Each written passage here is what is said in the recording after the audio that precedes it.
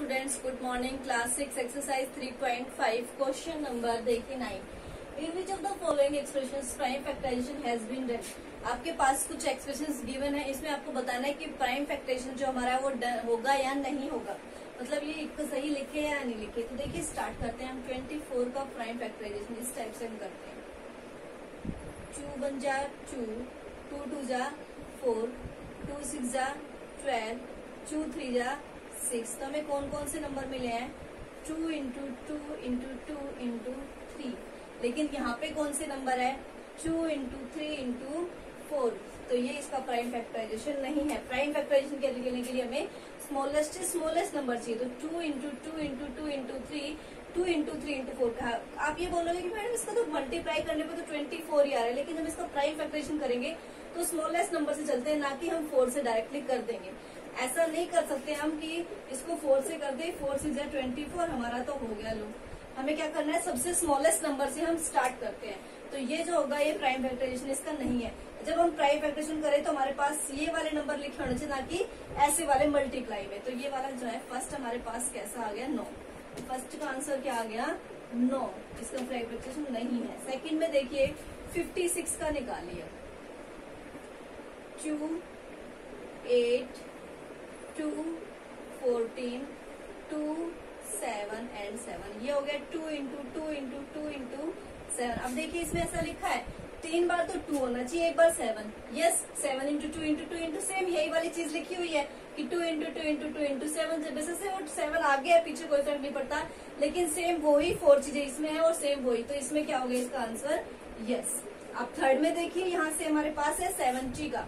Seventy का जब हम लिखते हैं तो क्या होता है यहाँ से देखिए, सेवेंटी का कितना आता है? Two, thirty five five, seven seven, one, two, five, seven. So two, five, seven. इसमें भी टू, फाइव, सेवन आया और प्राइम फैक्ट्रेशन में भी टू, फाइव, सेवन तो ये भी कितना हो गया हमारे पास। यस अब फोर में देखिए हमारे पास। फोर में है फिफ्टी फोर फिफ्टी फोर का देखिए आता है या नहीं? फिफ्टी फोर को हम कैसे लिखते हैं? टू से जाएगा तो ट्वेंटी सेवन, फिर थ्री से जाएगा थ्री या ट्वेंटी सेवन, फिर थ्री से जाएगा, फिर थ्री से two. Two into three into three into three लेकिन इसमें क्या है? Two into three into nine लेकिन ये वाली चीज़ तो इसमें नहीं है। सेम बिल्कुल सेम आपके पास ये वाली चीज़ होनी चाहिए। तो इसका आंसर भी क्या हो गया? तो ये था हमारे पास नाइन्थ क्वेश्चन अब देखिए टेंथ क्वेश्चन में है कि डेटरमाइन आपके पास एक नंबर गिवन है। आपको बताना है क्या वो नंबर 45 से डिवाइड है? आपके पास एक नंबर है two five one one zero. Is divisible by forty five.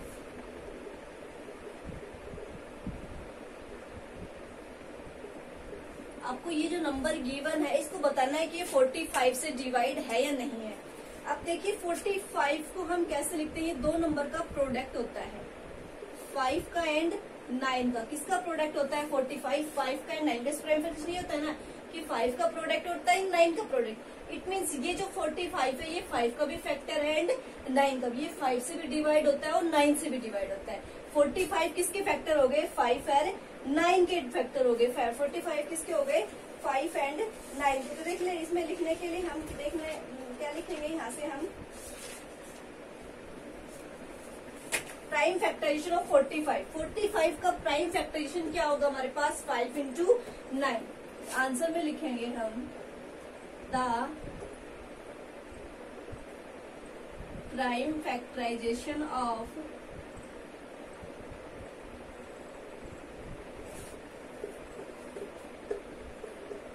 45 का 5 इंटू नाइन हम लिख सकते हैं, क्योंकि फाइव इंटू नाइन करेंगे तो 45 अब फाइव इंटू नाइन अब हमें इसकी डिविजिबिलिटी चेक करनी थी कि 45 से डिवाइड है नहीं।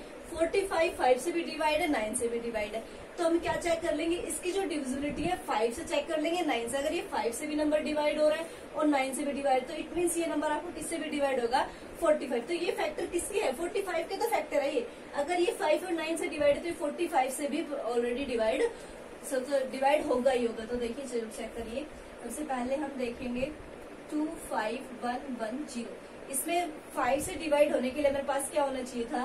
कि जो इसके पीछे वाला नंबर है तो ज़ीरो होना चाहिए या फिर फाइव तो लिखेंगे यूनिट प्लेस इज़ कितना है? Zero so it is divisible by किससे डिविजिबल हो जाएगा? Five so. So it is divisible by five ये क्या हो जाएगा? हमारा फाइव से डिवाइड हो जाएगा, ठीक है? उसके बाद देखिए, अब हमें चेक करना किससे करनी है? नाइन से चेक करनी है। So two five one one zero अब two five one one zero ये डिवाइड होगा या नहीं होगा? नाइन से डिविजिबिलिटी क्या थी कि अगर इनका सम करे, वो नाइन से डिवाइड फाइव और टू सेवन और टू नाइन अब नाइन नाइन से डिवाइड है तो क्या लिख देंगे?